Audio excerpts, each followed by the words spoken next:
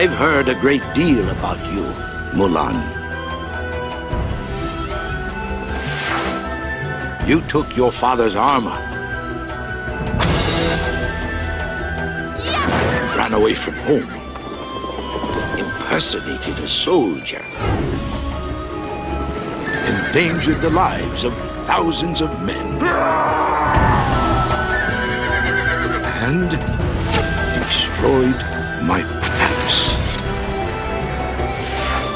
But soon the world will know the great things you have done.